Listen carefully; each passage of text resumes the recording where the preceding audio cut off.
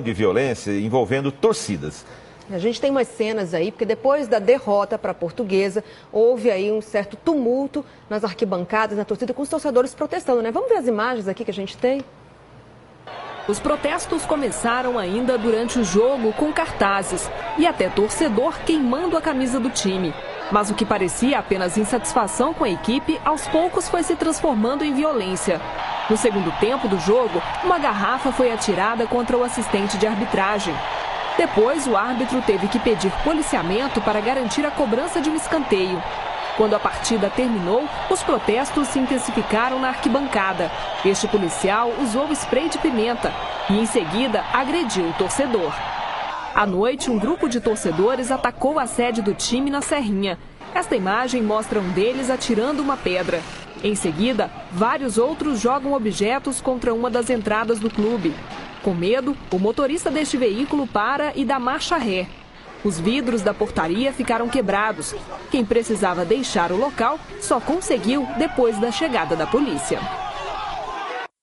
É mais uma bobagem do futebol, né? Esse negócio de torcida atacar o patrimônio, danificar o patrimônio Vandalismo do clube. não se justifica, Em né? função de um mau, um, um mau desempenho em campo, o torcedor tem que ser identificado e punido, preso um torcedor que faz esse tipo de coisa. Com certeza. E olha, e a confusão que começou no estádio e terminou em morte. Um jovem de 28 anos morreu depois de uma briga entre torcidas.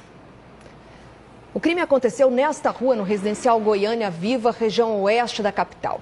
Lucas Arantes de Moraes, de 28 anos, foi morto com um tiro na cabeça por volta das 8 horas da noite de sábado. De acordo com a polícia, o rapaz fazia parte de um grupo de torcedores do Vila Nova que entrou em confronto com torcedores do Goiás depois do jogo em que o time esmeraldino perdeu para a portuguesa. E nossa equipe tentou conversar com os moradores da região. Eles sabiam do crime, mas não quiseram dar informações e a polícia ainda não identificou o autor do disparo. Quer dizer, César, mais uma vítima, uma vítima fatal aí dessa coisa que, que é inadmissível, Isso- isso- né? Que é a, violência É. por uma coisa banal, que é um jogo, uma, algo que deve ser algo de prazer. Não, Isso pra mim não é torcida. Torcida pra mim é quem vai no estádio e torce.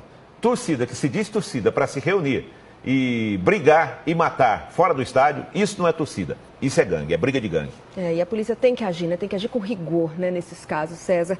Infelizmente, a gente vai encerrar nosso bate-papo de hoje com esse assunto triste. Vamos esperar, então, por essa reação dos times, que a torcida quer ver e que a torcida se comporte como deve, né, na, dos jogos. É, mas daqui a pouco tem mais, né? Tem os outros gols do Campeonato Brasileiro, a vitória do Flamengo, a goleada do Corinthians em cima do